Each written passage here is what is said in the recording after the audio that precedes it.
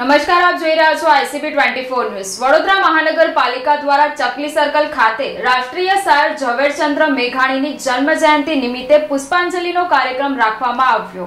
રાષ્ટ્રીય શાયર ઝવેરચંદ્ર મેઘાણીની જન્મ જયંતિ નિમિત્તે વડોદરા મહાનગરપાલિકા દ્વારા ચકલી સર્કલ ખાતે પુષ્પાંજલિનો કાર્યક્રમ રાખવામાં આવ્યો હતો, જેમાં વડોદરા મહાનગર સેવા સદનના સ્થાયી સમિતિના chairman doctor Hitendra Patel, deputy mayor Nandaben Joshi, deputy commissioner ward number બારના કાઉન્સિલર રીટાબેન સિંહ પૂર્વ કાઉન્સિલર શંકરભાઈ તથા વોર્ડ અધિકારીઓની હાજરીમાં પુષ્પાંજલિ અર્પણ કરવામાં આવી હતી તેમજ બેન્ડ બાજા સાથે જન્મ જયંતિની ઉજવણી કરવામાં આવી હતી. રાષ્ટ્રીય શાયર શ્રી ઝવેરચંદ મેઘાણીજીની આજે એકસો પચીસમી જન્મ જયંતિ વડોદરા કોર્પોરેશનના જે ચકલી સર્કલ મુકામે માનનીય ડેપ્યુટી મેયર અને તમામ આગેવાનોની ઉપસ્થિતિમાં પુષ્પાંજલિ યોજાઈ રહી છે.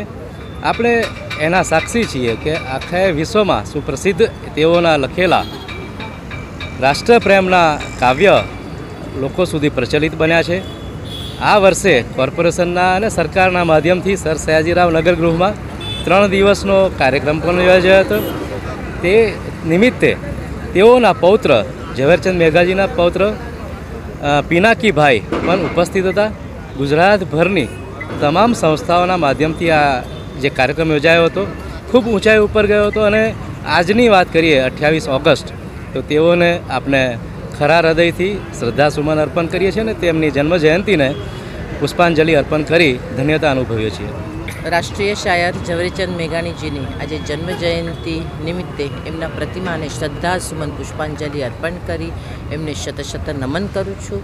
ઝવેરચંદ મેઘાણીનું કાવ્ય લેખક એમની કથાઓ, એમનો જે લોકો આત્મ, આત્મકથાઓ પણ એમને લખી છે, લોક સાહિત્યને એમને જાણી અને એ લોક સાહિત્ય, લોક સાહિત્યને શબ્દમાં ગોઠવી લોકો સુધીના પહોંચાડવાનું એમને કામ કર્યું છે અને સતત અને સખત પરિશ્રમના લીધે લોકો લોક સાહિત્ય તરફ વળે, સ્વા, એના તરફ વળે અને એ પણ લોક સાહિત્યને જાણે, માણે એ કોઈ બીજા કોઈ નહીં તો આજ હતા.